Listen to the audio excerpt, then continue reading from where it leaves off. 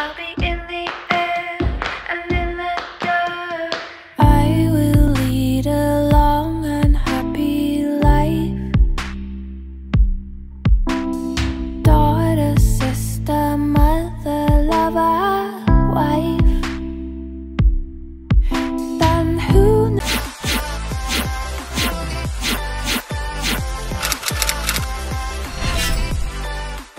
နည်းအခုလက်ရှိကတော့ဟိုရုပ်ရှင်ကားကြီးတကားရိုက်ရိုက်ထားပါတယ်ရိုက်ပြီးသွားပါပြီရှင်မကြခင်လဲအာယုံတင်တော့မှာဖြစ်ပါတယ်အာတစီတစီတကောင်ရင်ညအကိုစနိုက်ပေါ့နော်အမ်အကိုမင်းမော်ကွန်ရဲ့နန်းတီရီမောင်စုလိုင်ဝင်ကိုချိုကာကိုရဲလေးတို့ပါပါတယ်ရှင်နန်းနန်းလေးတော့အတီချာလေးတော့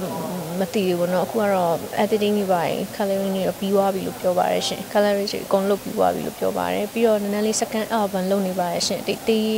တီအကိုကြီး အပ်ထားပါတယ်အကူဝေးကြီးနဲ့ကိုသားကြီးကိုအပ်ထားပါတယ်ရှင်ဟုတ်ကဲ့ရှင်အခုကဒီ modeling ကနေအစိုးဖက်ဖို့လဲအာရွှေ့နေရပါတော့ပြီးတော့ဒီဓာတ်ပုံကလည်းကိုအရန်ဝါနာပါလို့ပထမဆုံးစလုပ်ခဲ့တဲ့အလုပ်ဆိုတော့အဲ့လို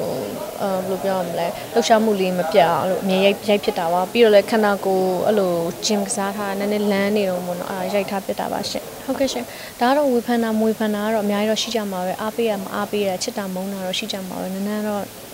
feeling တိတ်မထပါဘူးရှင်ဟုတ်အဲဂျင်းနဲ့ပေါ့ပေါ့ပါပါလေးတင်ဖြစ်ပါတယ်အရင် serious ကြီးမဟုတ်တခါလေကိုစဉ်းစားလို့မရရင်တော့မအသေးပုံလေးပြီးလိုက်တာတော့ပါဘူးเนาะတခါလေကြာရင်လဲကိုအဲ့လို